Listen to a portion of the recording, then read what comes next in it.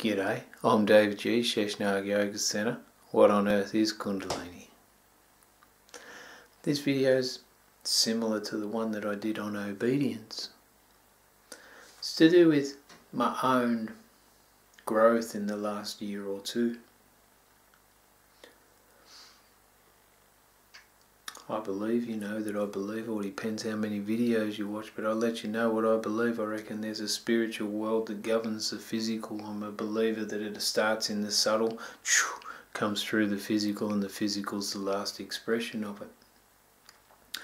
So I reckon there's a dream time, whatever they talk about, that spiritual realm where the gurus can go when they suspend their respiration and they go into the subtle dimension of the spirit. I'm a firm believer that that exists. I reckon it might be tied into the dream plane, the dream realm where you go when you dream, but there's some people that can consciously participate there. I reckon it's like a template for your human life, for your physical life. In that, you've got your higher and lower self, or your soul and your body, whatever you want to call it. I call it the higher self, lower self the lower self's full of vibrations, full of programs, um, expresses itself. A lot of the time it's unaware of what it's doing. This is only my opinion, of course. The higher self, when I sleep, goes off and coordinates my future experiences. That's a big ask, isn't it? Or it's a bit, it's a bit weird. It's a bit out there. I'm happy with it It explains what's going on. It explains how I can think something and then it happens.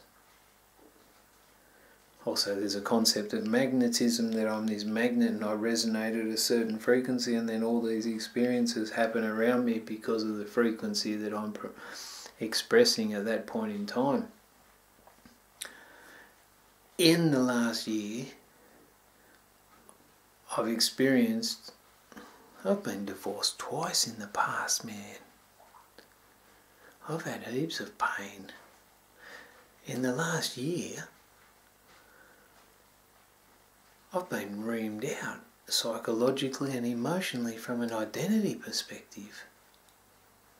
I thank the person in my life profusely for participating in it because her stuff matched my stuff perfectly to trigger most of my shadows. I'm trying to get a grip on it, trying to work towards healing myself and becoming a better person, more emotionally expressive, more emotionally stable. In that, I just bow down to the accepting my life and my creation. Wasn't necessarily conscious, but some of it was, and that's what keeps me in the situation and in the relationship. I know that I asked for it. I know that I put four words, uh, words on that board over there in my office. And the opportunity came into my life for me to deal with the four words that I wrote up there sensitivity, feelings, divinity, and deep mind. Plus, I wanted the most awesome vegetarian cook on the planet. And to be fed, to be watered, and I actually did ask for that. So those things happen. But next time maybe I'll just write one thing on the list and deal with one lesson at a time. But for four real heavy lessons, man, it's like fitting all of university into like one semester.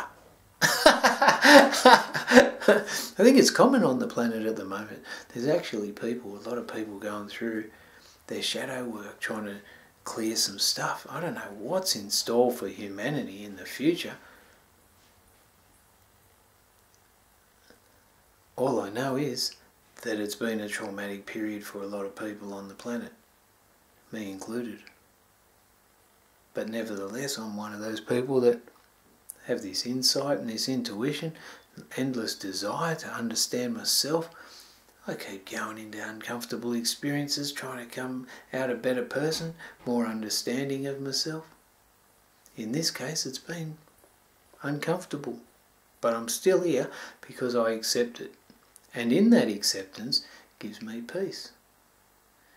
And also the opportunity to grow through the pains.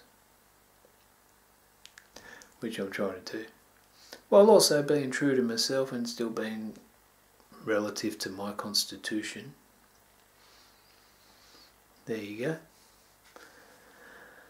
Acceptance of my own creation. Some of it conscious, most of it unconscious. But at least I'm aware of a little part of the conscious part. Share the world, sheshnaag.com. What on earth is Kundalini? Peace.